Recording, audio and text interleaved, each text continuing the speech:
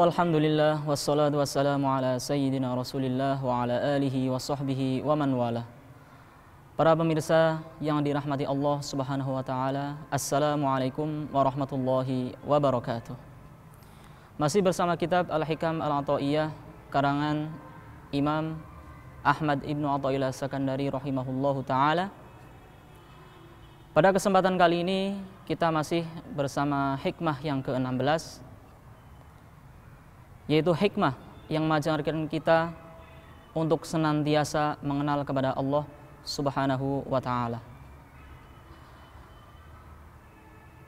Imam Ahmad Ibnu Athaillah mengatakan, "Ya ajaban kaifa yadhharul wujudu fil adam am kaifa yasbutul hadis ma'a man lahu wasful kidam." Yang artinya sungguh ajaib bagaimana zat yang wujud itu nampak padahal atau sesuatu yang tidak ada? Atau bagaimana sesuatu yang hadis sesuatu yang baru itu bersama dengan zat yang kidam Imam Ibnu Athaillah di sini mengajak kita untuk senantiasa mengenal Allah Subhanahu wa taala. Pada episode sebelumnya telah kita jelaskan makna-makna dari kata-kata yang ada pada hikmah yang nomor 16 ini. Sedikit saya ulas hanya maknanya saja. Yang artinya bagaimana Allah itu terhalang oleh sesuatu. Sedangkan Allah adalah zat yang telah mewujudkan segala sesuatu. Sedangkan Allah adalah zat yang wujud atau nampak pada segala sesuatu. Sedangkan Allah adalah zat yang nampak dalam segala sesuatu. Sedangkan Allah adalah zat yang nampak sebelum segala sesuatu. Allah adalah zat yang nampak bagi segala sesuatu. Sedangkan Allah adalah zat yang paling nampak dari segala sesuatu. Sedangkan Allah adalah zat yang esa, yang tidak ada sesuatu apa pun yang bersamanya. Sedangkan Allah adalah zat yang jika Allah tidak ada, maka segala sesuatu itu akan hilang. Maka dari itu sungguh heran jikala sesuatu yang tidak ada ini, sesuatu yang hadis ini menjadi penghalang bagi Allah Subhanahu wa taala. Ini adalah sesuatu yang yang mustahil. Artinya apa? Allah adalah zat yang wujud yang senantiasa memperkenalkan dirinya kepada kita.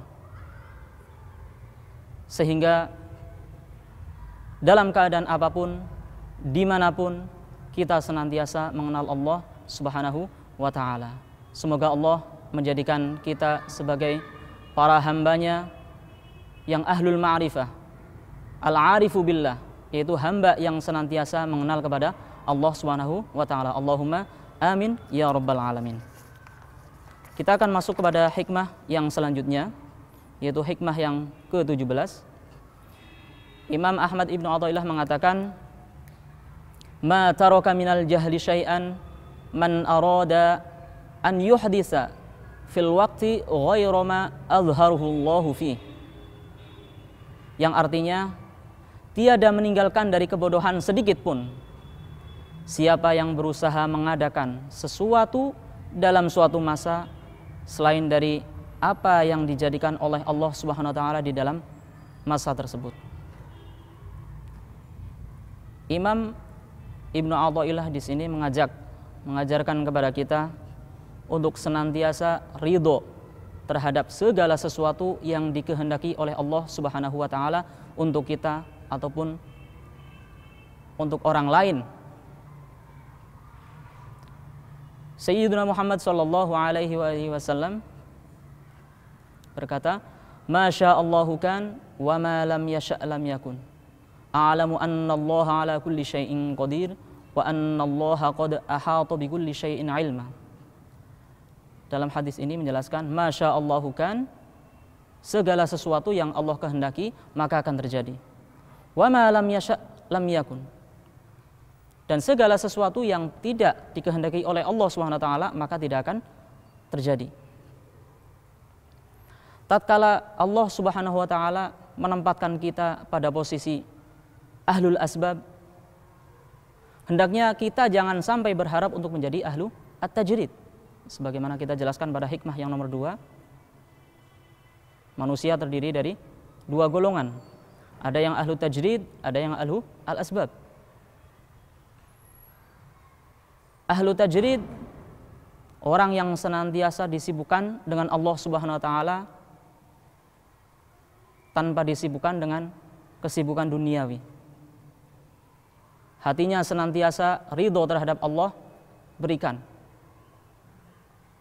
Tidak pernah pusing tidak pernah risau terhadap rizki-rizkinya.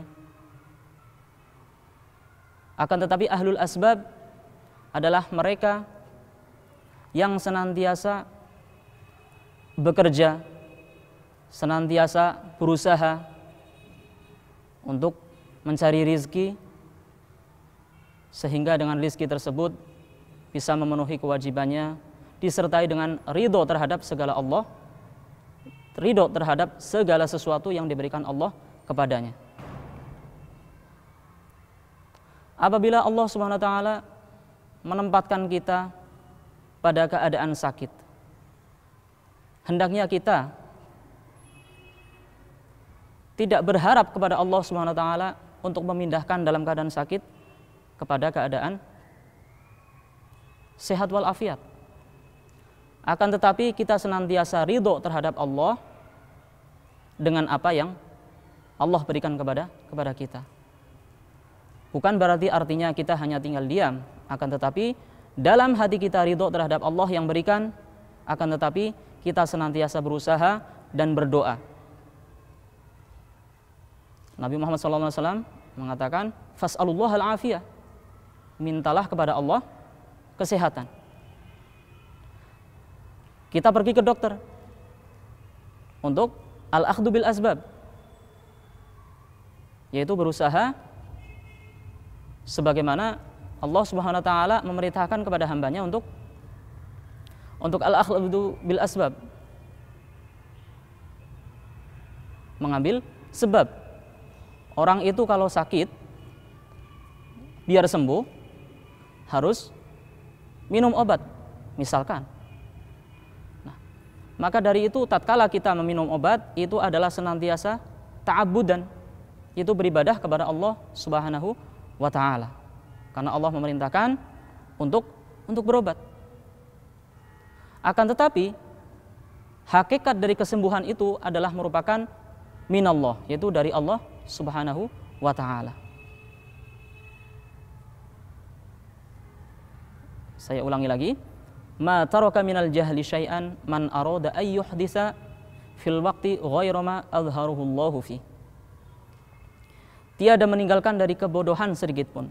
Siapa yang berusaha mengadakan sesuatu dalam suatu masa selain dari apa yang dijadikan Allah Subhanahu wa taala pada masa masa tersebut. Aqamal ibad ma arad. Allah menentukan kepada setiap hambanya terhadap apa yang Allah kehendaki. Sehingga kita harus senantiasa beradab kepada Allah Subhanahu wa taala. Man radiya falahur ridho wa man sakhit falahus sukht. Barang siapa yang ridho terhadap Allah Subhanahu wa taala, terhadap segala sesuatu yang Allah kehendaki untuknya, maka dia akan diridhoi oleh Allah Subhanahu wa taala dan ini adalah merupakan tujuan atau hakikat dari seorang seorang muslim wa anna ila rabbikal muntaha.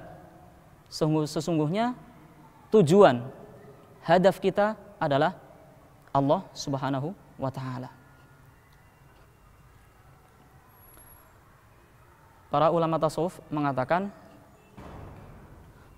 mereka adalah yaitu orang-orang yang senantiasa ridho, senantiasa ikhlas, senantiasa pasrah terhadap segala sesuatu yang diberikan oleh Allah kepadanya.